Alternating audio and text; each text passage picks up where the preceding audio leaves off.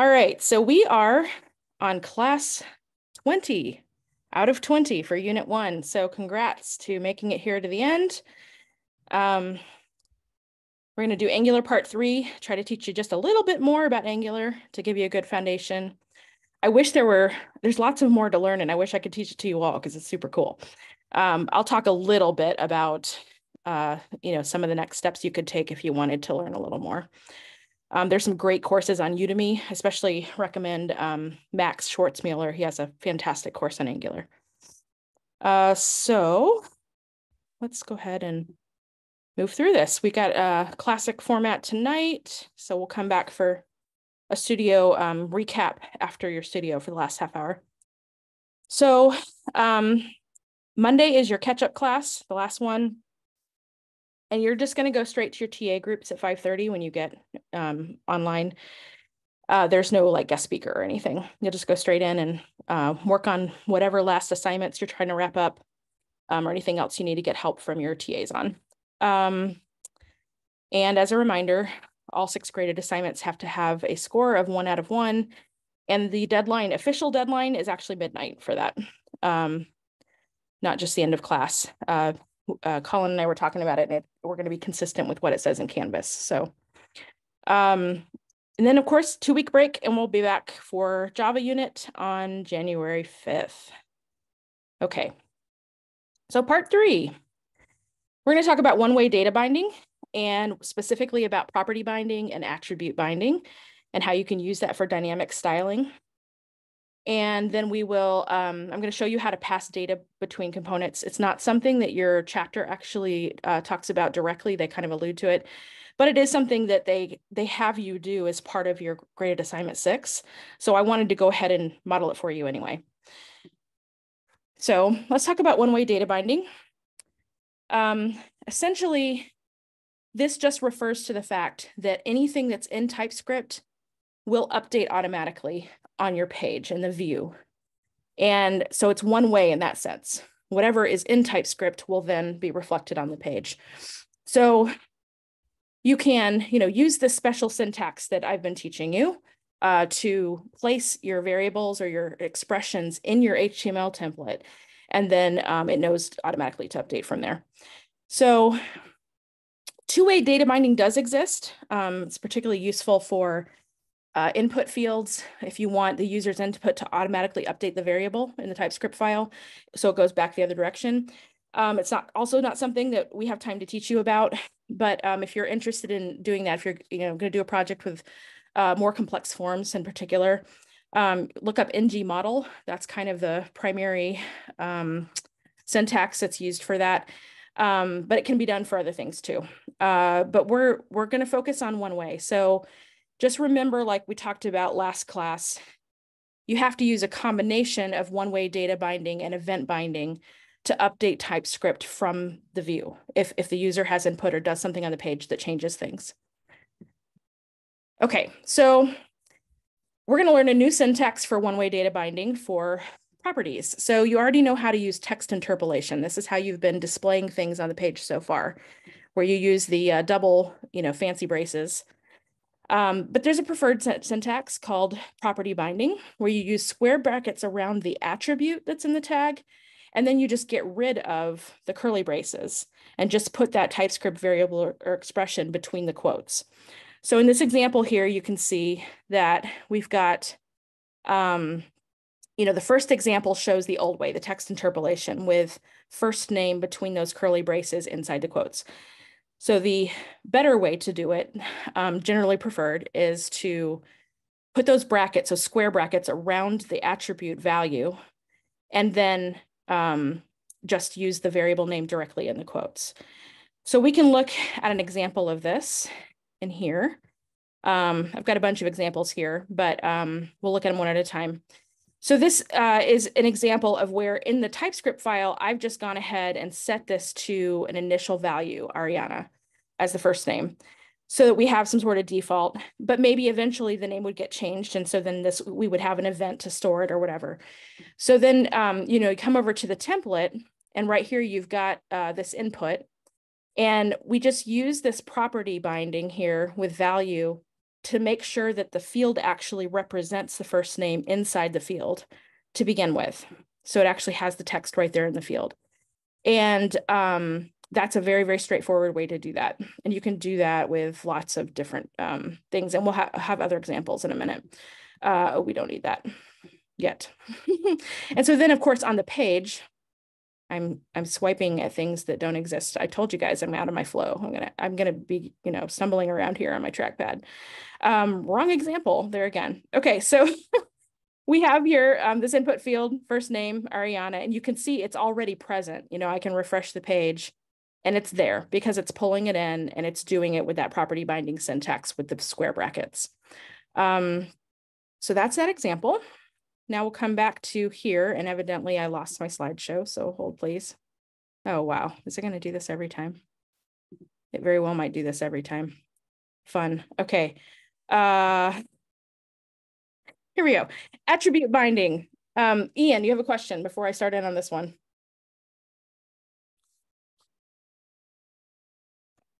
Sorry, I was muted. Uh, is this similar to defaulting like we learned in um, just doing it in JavaScript? Yeah, uh, you talking about where I did it with the input, the the value on the input? Yeah. Yeah, that's essentially what I was doing is just giving it a default value so that it already puts something in the field. Okay. Um, but you certainly can use it on things other than inputs. Um, you know, we'll ha I'll, I'll have more examples for you in a minute. Um, okay, so uh, attribute binding. So this is very similar to property binding but it gives you a way to actually access the properties on things like um, style and class, and you just use dot notation. So um, you can use it with string variables or expressions um, from TypeScript to add dynamic styling. And you can use it with Boolean variables or expressions to apply conditional classes. So um, only if it, you know, resolves to true would that class then be added to that element. So here's a couple examples. We have, um, you know, the first one is a just a little paragraph um, tag, and I've got this color where instead of um, having the color defined elsewhere, I'm defining it through um, a TypeScript value called message color. Um, and using this, you know, square brackets around style dot color I can change that color property of the style attribute. Um, so this is, you know, going to basically make it so that it's inline, right? It's just adding it inline to the element. And then of course I've got a, a message in here and that's what's going to be, that's what's going to be changed. Um, so that's, that's attribute binding for dynamic style. And then the second example, we have this uh, div that's being looped. Um, and inside it is a span that uh, is wrapped around a word.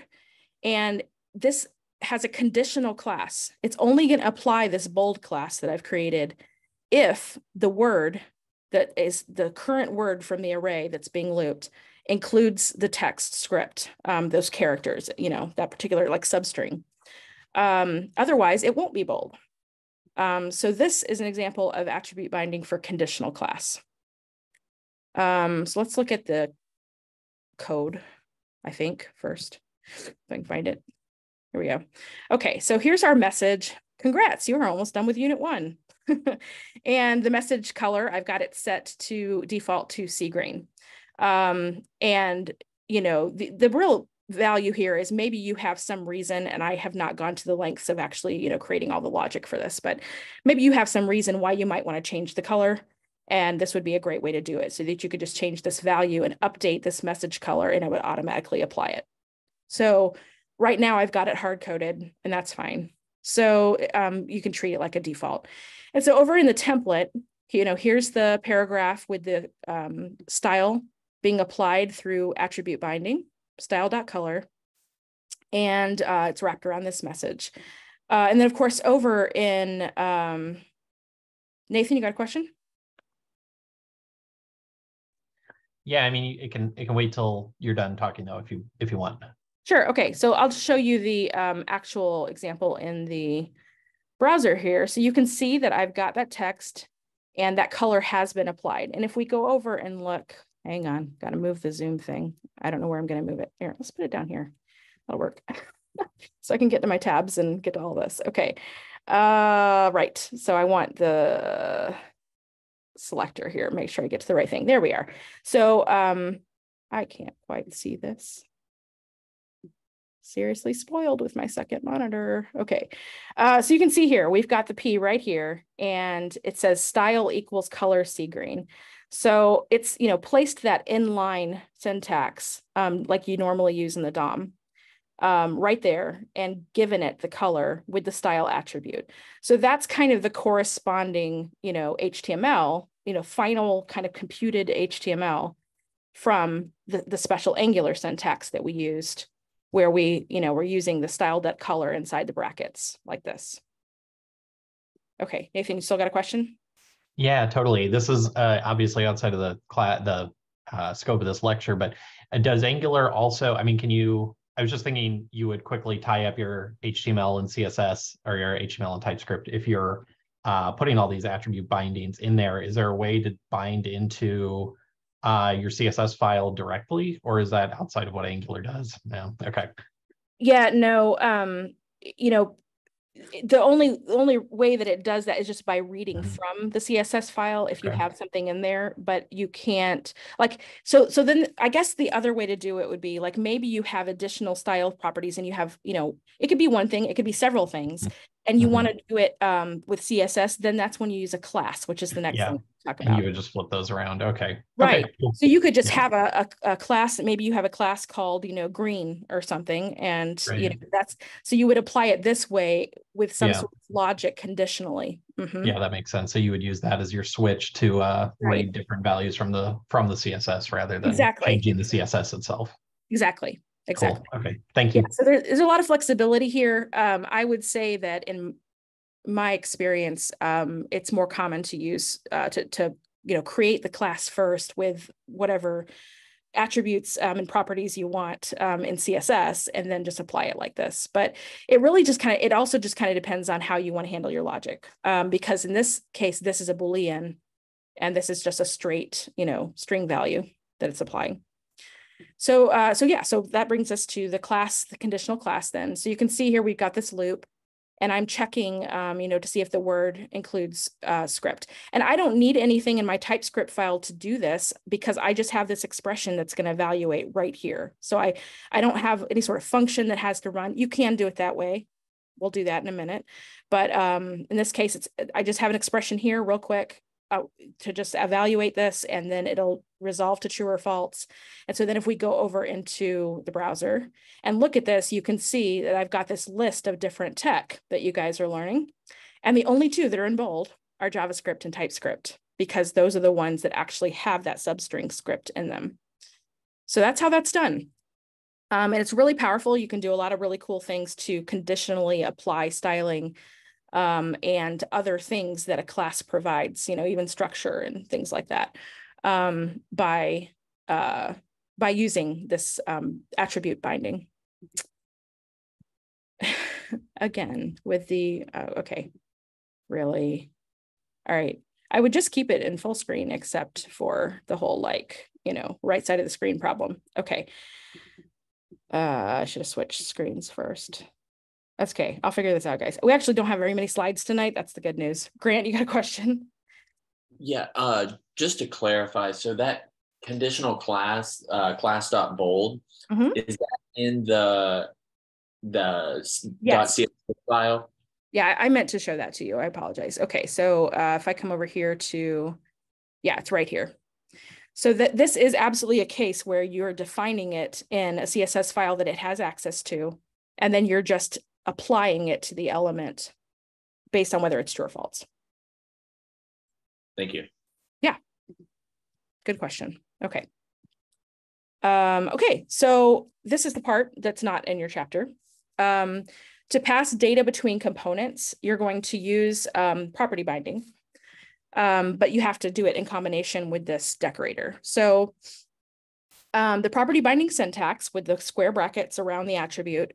Um, in this case, though, instead of an attribute, it's actually going to be your um, your uh, target variable that you're going to create. So in the child component TypeScript file, you're going to use this decorator. Um, decorators you'll see from time to time, and you- you're going to use them with other tech um, in unit two as well. But in Angular, um, it looks like this with the at symbol at the front. Um, and it allows you to kind of tag a variable um, to give it some extra functionality that's built into the framework. So in this case, um, Angular says, you know, if you put this at input decorator on the front of your variable, um, that tells Angular that it's going to receive its value from um, the parent. But you actually apply it within the child class. And then once you've done that and you kind of initialize it to some sort of default value, and it can just be something empty, that's fine. Uh, because it's going to get it's it's not it needs TypeScript uh, needs it to have some sort of value if it's not in like a traditional TypeScript class um, constructor. But uh, it's not important if you're passing it in from the parent. It's just going to update it with whatever's coming in from the parent.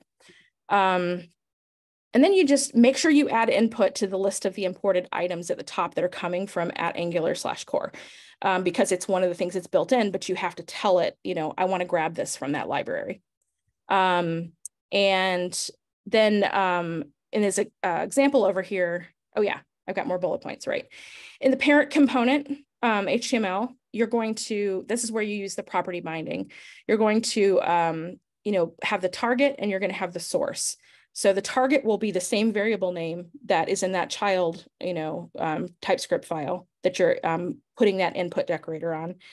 And then the source is whatever variable or expression um, from the parent um, is going to generate the value to pass down. And uh, in this case, in this example I've got here, selected item is that source, right? Um, so here, I'll just kind of, you know, highlight these again. There's the input decorator. Um, notice that the input director, uh, decorator has the, the uh, parentheses on it, right? That's important because it actually is a function. Um, and then uh, in the parent component in the template, you can see where this property binding has been used with the target on the left in the brackets.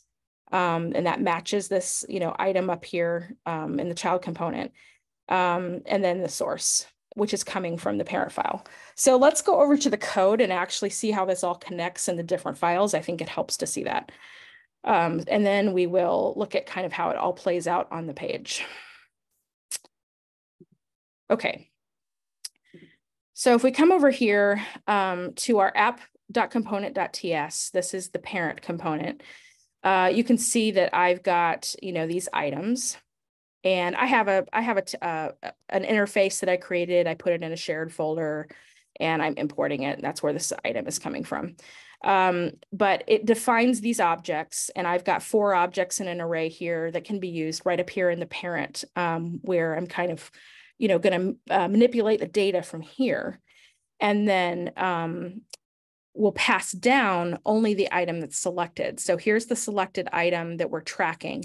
And I'm just initializing this to the very first thing so that it defaults to just be the first thing in the list. Um, and that way, when we look at it on the page, it'll already be selected as this one. Um, and then I have this little handler that we're going to use for when the user clicks on the, the different choices. And this is just going to change it to, you know, whichever one they've they've selected, it, it'll change it to that item. So that this is what's in the parent component. And then if we switch over to the child component, um, here's where I've used the input director decorator, excuse me, on the item, which is of type item. And I've just initialized it to an object that is, you know, matches the interface, but just has some empty values. Um, maybe they would have like, you know, uh, you know, real values otherwise, but it doesn't matter because in the parent file, we've said we're actually choosing the first item from the array with the real data that's coming in. And maybe this data would actually be coming in, probably would be coming in from a, an API where you're making a fetch, right? Instead of having dummy data here like I do. In which case, you know, you can't choose um, necessarily, you know, what you want other than to just say it's going to be the first one there. So um, there's lots of ways to do this. This is just one of them. But basically you just need to make sure you declare it. You need to make sure it has the decorator on it, and then it will be able to pass it from the parent to the child. And then in the child file, um, in the, I'm sorry, not in the child, um, in the parent uh, template, this is where, you know, you place your child component in with the app child tag, right? That's that selector that belongs to the child um, that uh, comes from the child's TypeScript file. Remember, those are always based on this selector item right here. So um, that's, you know, right here. And then you just use this property binding syntax to say, I want the item that's being input to the child to be um, this, what I want passed down from the parent is the selected item that's defined right here. So you just connect one to the other. You got a target and you've got a source, and that will pass it down. And so whatever we do with um, all the, and actually, let me show you what's going on here. So we have in the parent, we've got this list. Um, this is, I'm using, uh, there's a lot going on here in this tag, but I'm using this ngFor structural directive, let item of items, so that I can list all of the items for the user to choose from. And then I've got a click um, event uh, binding here um, to use this handler select item and pass in whichever item it is to uh, actually update it and select, you know, the item. So then so selected item is going to have that value because that's what select item does. And then um, I also have, you'll notice, a conditional class here that says if it's current, if this is currently the selected one, if item is equal to selected item, then apply this selected class. And that basically just uh, adds, it makes it a different color, the button, um, which will make more sense when we actually look at the page. So let's look at that. If I can find it, here we go. Uh, here we go. Okay, yes. So now we see these buttons, right? And you can see that that first one is darker because in this case, item equals selected item, the very first thing in the array. But as soon as I come over here and I switch this, the class, you know, the, the class update updates here where it gives it a new background color. The picture changes um, and the, uh, you know, tag below it changes. And this is, this entire thing right here is the child component, which I did not show you. So let's look at that. uh, here, nope, here. okay, so uh, this is what's in the child component. It just has a little card. It has the image and it has um, the the name right below it, right, which we just saw on the page. And all that's going on here is it's just taking that item that was input and it's grabbing the name property here and here. And right here, we're grabbing the image file property and we're calling this build URL function that I wrote in here um, that takes the image file name from the data and just makes sure it has the right file path um, in front of it so that it can find it because I actually have these in the assets folder down here. These four, these four images. Um, so this is, you know, these are very common ways of putting data together um, to, you know, display things dynamically on a page. Um, you know, one, lots of different ways to do things. I'm trying to expose you guys to some different ways to do things so that you can start to get a little more familiar with it. Um, so that's it. Uh, you know, you you pass it in and you use it. And in this case, this is how I'm using it. I'm just displaying an image and a name. Um, and so if we go back to here, there we go. But it's, you know, there's not a ton of lines of code to change all of these individual things like you would have to do if you were working in the DOM and, you know, coding all of this from scratch with, um, you know, adding event, different event listeners and, um, you know, changing all the different properties basically you just do everything at the beginning with just, you know, connecting it all and then just let Angular do the rest. Do you have any questions about this? No? Okay. Yeah, Eric. You mentioned that there was uh, something that you needed to put in like the um, the at Angular input or core or something. Yes. Can you show that, please? Absolutely. And I intended to, so thank you. Um, yes, so in the child component TypeScript file where you are using that input decorator, you just have to make sure. So when you first have like a generic component that you start up with, you know, ng generate component, um, it starts out with component and on init being the only things in here. So all you do is just add input like that. Because it's, you know, one more thing that you've decided you want to pull out of this library to use. And then it's available.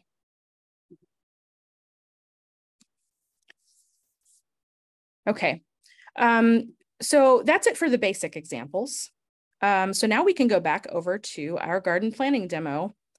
Um, and you know take a look at how this works. So uh, we are not going to make a, a, massive amount of changes in the functionality of it as it currently exists um, or the way it looks. We're still going to have, you know, where you can add and remove, you know, different plants um, and put them in the flower bed. But what we are going to do, we're going to do, we're going to do a couple of like conditional things. Um, but we're also going to move some things into child components so that we can see how it actually is better to separate things out into, and this is really what these kinds of frameworks are gr great for is separating your code out so that every component has one job.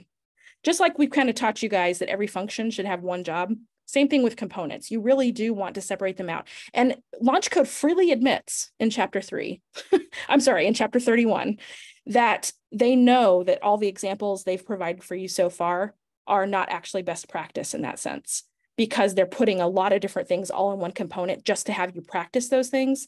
Um, but trying to teach this stuff, you know, to, to take it to the next level, there's just not enough time. This is a big topic. There's a lot to learn. So I'm going to give you a little bit of a taste of that with this example, and then you'll have a better idea of what it looks like. Um, and then I'm going to kind of show you what limitations we still have, but what I would do next if we had more time. Okay, so let's kind of come over. Um, you know, right now we have this main component and everything you see here in this big white section is all in one component. It's all in the main component. So what we're going to do is we're going to take this entire right column over here and take this flower bed um, card that's inside of it and uh, move that into a flower bed component.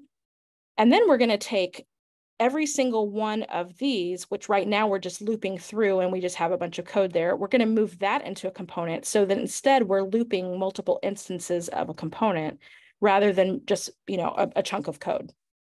Um, and this is going to be much more realistic of how you would do this um, professionally. So let's uh, go over to the code and do that. All right, I have some to-dos here for us. And um, the very first thing is to use property binding to add the name variable to the field, right? So right now, if we come up here and we click on this to uh, save to change the name, there's nothing there. So maybe I clicked on it and I didn't mean to, and I want to say save, and it's like, please enter a name. And I'm like, well, I had a name. Um, so, you know, it's probably better to just have whatever was last saved in there already, right? So let's do that um, here. All right, so right here, I'm just going to use some property binding here, and I'm going to say value equals, and um, I will give it the um, name because if you remember over in the uh, here, that's what the actual um, property name is, name. And that way, whatever is currently saved here, even if it's been overridden, um, overwritten, sorry, um, it'll just, you know, show the most recent one. So we can kind of prove that now and come over here. So if I click in, I should see my flower bed. There it is. And let's say I, you know, change it to, you know, circular bed uh, under red bud tree. I think that was my example from last time. And I save it. Now we see that. And if I click back in, it remember, you know, it's, it's always going to display the most recent one. So that's, that's a way that that one way binding is really useful is just to make it a little more user friendly and um, with, with a form that a user might kind of go in and out of like that. Um, and then, so that takes care of that particular to do. So we're done with that one. And then number two is to um, add a, a, conditional unavailable class if plant dot num available is zero. So the idea here is that, you know, we can, and I'll come down here to the irises because there's only four of them. I can, you know, allocate these over here. And when I get to zero, instead of this being green, we want to change it to gray so that it kind of grays it out. And it's a better visual indicator of, oh, hey, you're out of those now. You know, you, you, you use them up. So these are little, you know, little user experience things um, that are nice. So um, I can use a conditional class for that because it's just going to check the number. And if the number is zero, it'll apply that class and change the color. Um, so over in the code, um, in the CSS file, that's not it. Here it is um, we have unavailable somewhere here. Here it is. Yeah. unavailable class, and it has this, you know, light gray color that we're going to use. So we'll come back in here and we're just going to add on to this and uh, in the brackets using the attribute binding, we'll say class dot unavailable and just set it equal to um, plant dot num available equals zero, just like that. So it's a little Boolean expression to just check for the number. And if it equals to zero, it should mark it unavailable. So let's check it. Um, I'm going to allocate these out. And when I get to zero, there it is. It graded out. Nice, huh? So, uh, you know, little, little tiny things that just make for a better experience. Um, and it's real easy to do with that uh, one-way binding like that with the, uh, with the attributes to tap right into your CSS. Okay.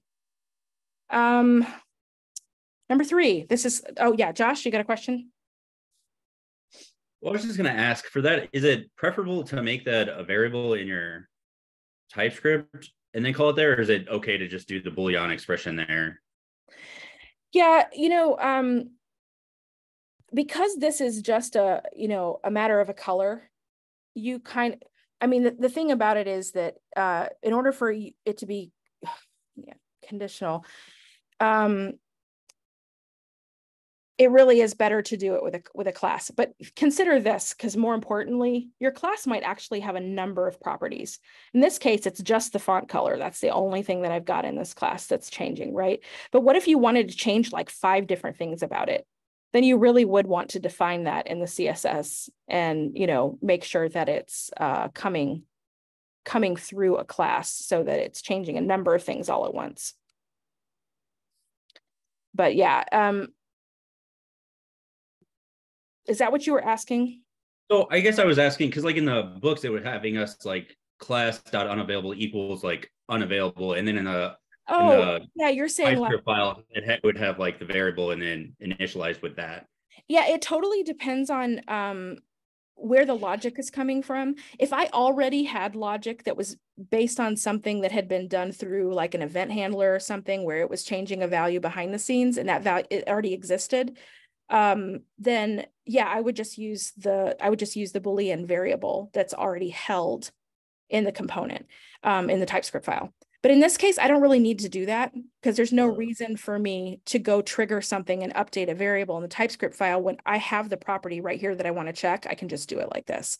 So if it's just mm. something simple and the property is available that's coming from, you know, the thing that you're looking at, in this case, plant, because we've got this, you know, loop here, let plant of plants for something like a loop, this is really the best way to do it because you need to be able to look at it one at a time and it's going to evaluate it for every single one.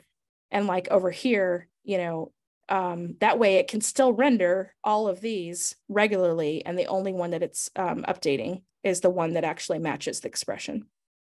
Okay. Thank Yeah. you. Mm-hmm.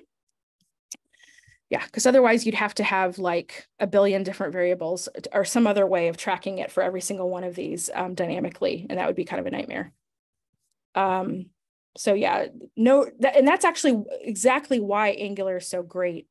The, you know, the ability to kind of um, have this statement be here and for it to uh, just automatically, you know, true or false, and it'll just apply it as it goes through and you can just do it right here in the HTML template um, with with tiny little TypeScript you know expressions that, to evaluate. It's nice.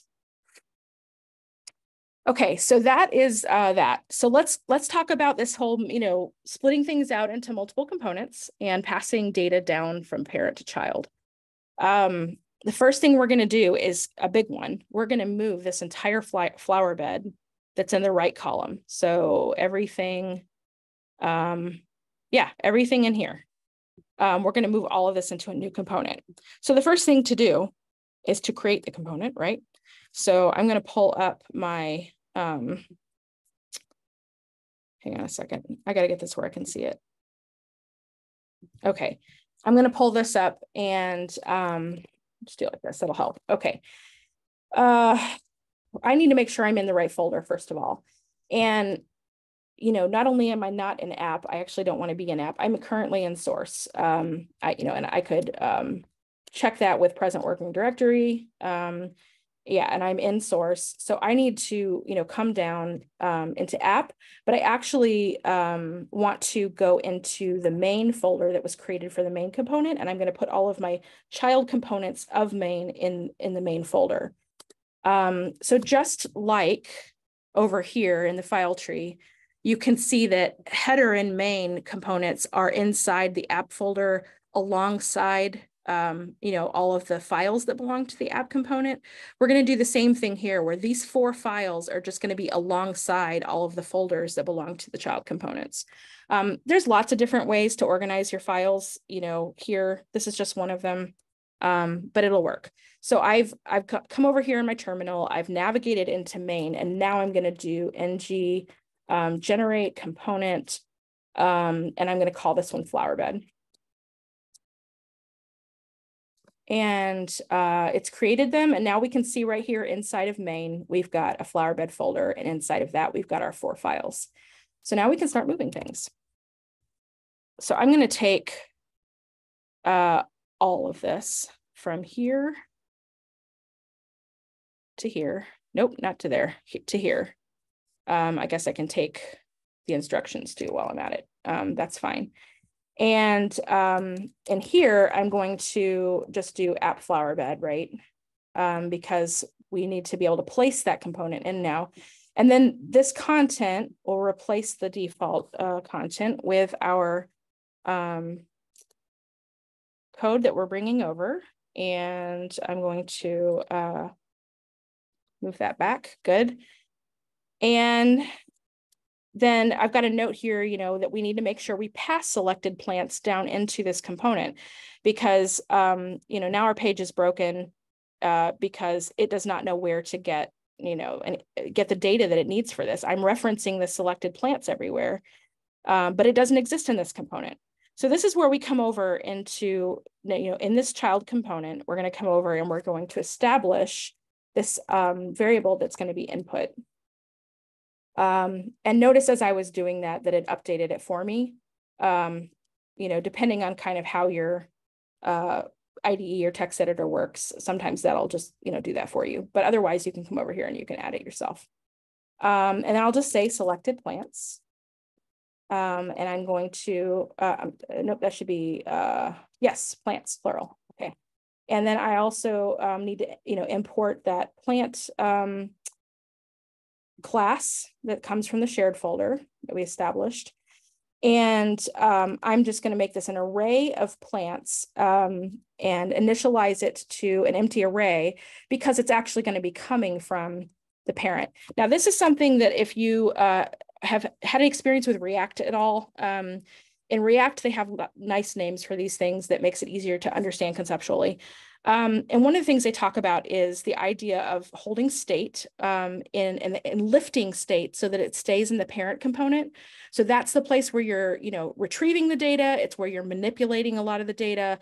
And so you make sure to hold that up high to where you can just pass what's needed down into the child components and not have a lot of, you know, changing of data necessarily. And then another term that they use with React that's super cool is props which just means properties. And it kind of is a, a, great way to refer to this is how we're going to, you know, pass something down. So in that with that model, you know, selected plants is now a prop that we are passing from the parent to the child.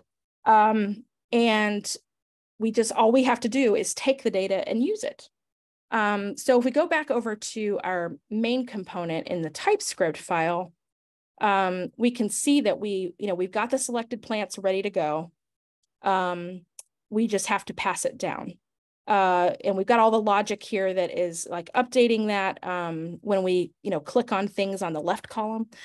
Uh, so if we come over to our template in the parent and we come back to where we placed this flower bed component in, this is where we use the property binding to pass it down. So I'm going to say selected plants and equals selected plants. Because in this case, I've given them the exact same name, um, both in the parent, um, eh, sorry, this is the this is the target. So this is in the child component. And this is um, the parent. Uh, and if I wanted to, I could change it and just say, you know, maybe I want to call it plants in the child component or something. I could. Um, but for the sake of not having to update a billion things in um, in here, everywhere we've talked about selected plants, I'm going to just do that. So um, that'll take care of that. However, we also have some functionality, right? We created up here, we have this, um, you know, uh, open name input uh, handler. Down we here, we have a save name handler. Um, we also have the name and uh, what was the other one? Oh, editing name um, things that we're using. And these really do truly belong just to, you know, the flower bed. So these are things that are not worth trying to hold up in, you know, up in the parent. We, we need to move them to where they're actually needed. So I'm going to take um, these and pull them right out of here and move them, not there, here, into the child component where they're now useful. And then I'm going to do the same thing with those two handlers that specifically are going to involve um, just the editing of this name um, and saving it. So there we go. Come back down here and I'll grab both of these, pull those out, come back over to uh, the flower bed. Now we're in the child, you know, TypeScript file. And now these are exactly where we need them um, in the in their correct component because they're now being used in the flower bed uh, template. So um, that should take care of that. Let me check and see if we have any more to-dos for number three. Oh yes, there's the um, the definitions uh, for CSS. I'm going to move these into that component as well. This is why I mark them with to-dos, guys. Uh, so we need flowerbed.component.css. Okay. So I'm going to move these in and now it has access to the styles that are really only specifically for this component. Josh, you got a question? Yeah, sorry, real quick. Um, so I know you said in this instance it didn't make sense to pass it from the parent to the child, but can you do, I mean, you can do multiple. Yeah, you can add as many as you need to with that property binding. Mm -hmm and it's it's actually very common to do that. Um, so if I had other things that I was tracking in the parent, um, let me get to the right thing here so I can. If I had multiple things that I was tracking in the parent um, that I needed to pass down, I could just keep going with you know keep typing them. Prop okay. two equals you know whatever. Yeah, exactly. Okay, just wasn't sure the syntax. Thank you. Mm-hmm. You just have to yeah. You just tr treat them treat them you know un uniquely. Um, you know one target for one source. That's it. Okay, so now if we come back over here, we should see everything looks just the way it did before. All the functionality, oh, uh, is almost the way that it was before. Has it not caught up with the CSS? What happened? Hold on. Did I not move that to the right place? It's there. Uh, oh, oh. Uh, I know what it is. Ha ha ha. I didn't just move. Um, yeah, okay. So we have not done this part part four yet, which is to move the uh, other stuff. And there's actually CSS that belongs to um, the selected plants as well. And now this code is in Flowerbed. So temporarily, we would need to move this here. And then we'll actually move it into the other new component that we create in a second. But the selected plant and the big num classes needed to be available to um, if I can get to it. I have too, too many things open. Um, need to be available here, class big num, because this is all inside the flower bed, right? So now if we come back, everything should look the way that it's supposed to. Yep, there we go. Okay, now ordinarily you plan this out in advance and then you don't have to move things around. But we know we're building this a little bit of time. We've been unpacking all of these concepts over three classes. So, you know, I'm moving them instead of just creating them there in the first place. But um, Okay, so we, uh, that's the wrong one. So now we've got our flower bed moved. We're passing down the selected plants array um, to have all the selected plants in um, now, you know, present here so that we can use them. So part four is to, um, not sure why, there we go.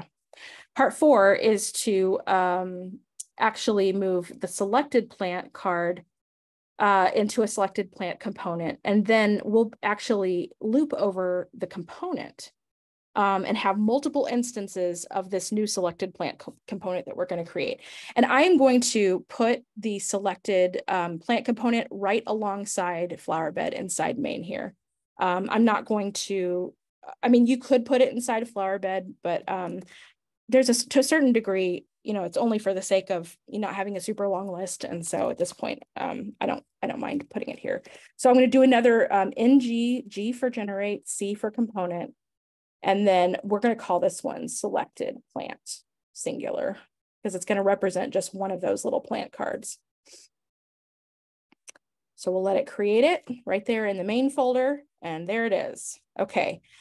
So now we can take this next step of moving um, this um, div with um, the image and the, the number um, that's inside of it into a separate component. So it can just take care of, of you know, that little bit of code. But I've got a note here that I want to actually move, uh, I want to separate the ngFor from this card um, class. So what I'm going to do is create an ng container. So it doesn't create another div. Um, it just gives me um, a way to wrap it. So just for the sake of the loop. So I'm going to take um, the loop out of the div and put it in the ng container. And then we should be able to um, tap into app selected plant. Um, and all of this we can take out and put in that component now. And so we'll be looping um, through all that code because it's going to be coming from here. Um, but of course, now it's looking for this selected plant and it doesn't know where to get it from because we have to pass that down. So we'll come over here in the selected plant component to the uh, TypeScript file. We're going to use um, input again and it went ahead and automatically added it for me up here in the uh, imports and we'll call it selected plant. And um, it is of course gonna be a plant. Um, and we can just say, you know, new plant and give it, you know, uh, zeros and empty, empty strings uh, just to initialize it um, according to the constructor right there. But it's going to be replaced with, you know, um, whatever is actually coming down from the flower bed um, for each one. So uh, that's all we need there. Um, so let's see, let me take a look. I think the last thing is to move the, oh yeah, and we have to pass the plant in. So we, we've done the child side, let's do the parent side. We're gonna actually say that selected plant, the target that's defined in the child class is equal to plant. Um, oh no, selected plant. We do have it called selected plant. Yeah. And, you know, there again, I could have called this plant over in the child class and, you know, done that. That's fine. Um, but you can also have this, you know, have them this be the same. That's fine. But you do have to define them separately for Angular. You have to have the target on the left and the um, source on the right. So when you guys are doing your graded assignment six, hint, hint, just keep that in mind. All right, uh, so let's do the CSS now that we've got um, this taken care of. Uh, we'll go to here and grab this and uh, come over to selected plant dot component dot css and paste this in. And now um, this these classes are available to the selected plant component um, so that it can display each one of those instances with that styling. Um, so let's come over here and take a look. If I start adding these in, there they are. And so you can see now that I've got, you know, each one of these is a separate instance of that component. This is a selected plant component. This is a selected plant component. But because I'm passing down unique information into each one, each one has a different plant, it's going to display, you know, that that unique um, data in the in the image that goes along with it and all of that. Um, we can look at this in the uh, in here too, and kind of see, you know, how it's me Okay, this is where having a big screen is super helpful. like way over here. Okay. Um, yeah, so you can see here that um, it's got, you know, the it doesn't look terribly different in the um, actual like HTML in the browser because it's just piecing it all together. You can still see it all in one place. You can see what's nested inside what. Um, but you can see here that this is now based in app selected plant. Um, and there are multiple ones, right? App selected plant, app selected plant, but they each have unique, um, you know, identifying information behind the scenes, and they're each displaying different data that you can see is coming from each plant that's in that selected plant array. Does anybody have any questions about this?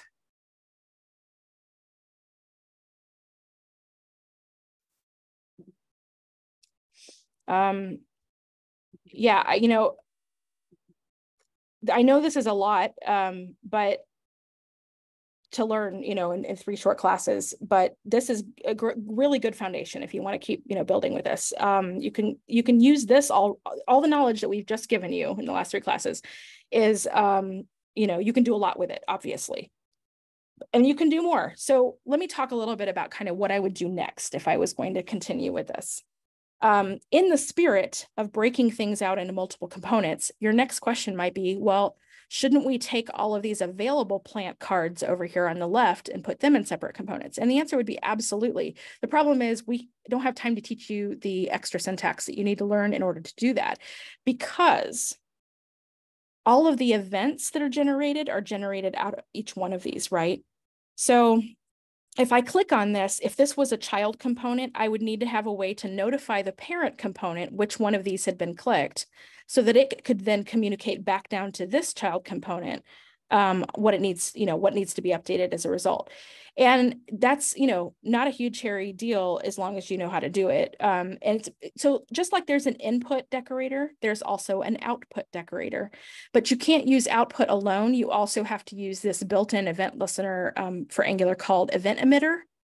And um, so once you kind of have, you know, imported that and you know how to use it, you just then you can emit events from a child up to a parent to say, hey, this thing got clicked and here's the data that you need. And then it can kind of flow up and then back down to other child components from there. Um, so that's that's kind of really the main reason that I can't split this out um, for you guys now. Um, but it would be absolutely the next thing I would do would be to to separate this out um, so that these are just instance, you know, multiple instances of a small component that just does its one job of displaying that little bit, you know, all these this little stuff right here. Um, and I also, if I was then going to take this like whole app uh, to the next level, you'd say, well, what if you have multiple flower beds? Well, yeah, like maybe you want to have multiple instances of the flower bed, but that would involve a lot of logic um, updates because then you have to have ways to actually tag each one as a unique one and you and you can no longer just use the plant class with num available and num allocated to get these numbers because they'd have to be split out between different flower beds. So you'd have to have some other data structures for tracking all of that. Um, and it can be done. Um, I, I mean, I know how I would do it, um, but it, it, it definitely would be a way a way step beyond what you guys are you know ready for and what we have time for. Um, but you know these are the kind of things that you you think through when you're designing something like this is you know um, you know how do i need to structure this all out so that i can accommodate you know manipulating the data on different levels? So this is kind of what we would call a proof of concept um, or actually no this is what we would call an mvp um, you know, minimum viable product. Um, we've talked about that term before, where I just kind of show you, you know, this is the, the basics to get this thing on the page. Um, and really this is, I mean, it's a little bit beyond an MVP because I made it look really pretty. Most MVPs don't have to be super pretty. Um, they just have to be functional. And then you would kind of grow it and, and you know, and add functionality from there and, you know, um, build it up bit by bit and to have additional features and you know, to be able to have multiple flower beds. And maybe you have a whole nother section that's uh, for, you know, uh, some sort of drag and drop, you know, landscape architecting where you can, you know, arrange your flower beds on a little grid or something. I mean, you know, you could you could go really, really far with this app, right? Um, but this is just one little corner, one little piece, has a little bit of functionality just to kind of give you a taste of what it looks like to wire all this stuff up. That makes sense. Eric, you got a question? Yeah, and I, I believe this is definitely outside of the scope of the class, but you know, you talk about Angular being something that you can build these apps with, if and how there are whole you know household company names or household name companies that use Angular to develop their um, you know user experience. What what does that look like for like multiple pages or like things that relate to each other? Because like yeah obviously you're not going to go to a website and only go to visit one page. Like so would you right. have separate apps or separate like you know individualized thing like angular projects to handle all of that? Like what does that look like? Um you know it would be a single single app for everything that's related. So that's where angular routing is really helpful um so that you can um associate components with routes uh, so that what the user sees, you know, in, in the up in the URL is, um, but you can have a completely different file structure for how you do it. Um, there's things called services in Angular um, that you can establish to help uh, with things like, you know, tracking who the user is and um, whether they're logged in or not um, and authenticated. Um, and you know what what data has been you know selected in one place that you can then use on multiple pages. All of that can be connected. And I did look up those household names later, by the way. I just forgot to mention them in the last class. Um, Samsung, Sony, Google, Microsoft. Um, there's, uh, gosh, there's so many more. Uh, Forbes. Uh, who else did I see? There were a lot of, a lot of, I mean, big, big, big um, that use use Angular for some of their stuff. So uh, yeah, you can create massive, massive stuff. Um, and there's so much more to Angular that helps you do all of that. Yeah, if you if you take one of those really big courses on Udemy, like like Max uh, Schwarzmüller's Schwarzmüller's class, um, he gets into a lot of it. Like that's that's a, I want to say that course has like upwards of 60 hours of um, training um, it's extensive. And there's some other ones out there like that that really dig in and show you how to how to get into the more complex um, stuff. And that's not even counting, you know, wiring it up to some sort of back end. And but yeah. I just want to add, Carrie, this is Zach. Uh, that is a great course. So if mm-hmm. anybody wants to learn Angular more, uh, uh, Max Schwarzmüller's super yeah. good course yeah, I I've taken his uh, his React course, his um, Angular course. He has a great JavaScript course that I haven't taken, but I know I know he's got one. He's got a clean code course. He's got a lot of stuff out there. He's a really great instructor. Highly recommend him. And you can get those courses for like 15 or 20 bucks when when uh, Udemy has sales, which they do all the time. There's also a way to spoof it. Um, yeah. yeah. Creating a fake email and then gifting it to yourself at any time. But yeah, if you can't wait a week or two, then yeah, you can do it that way. yep.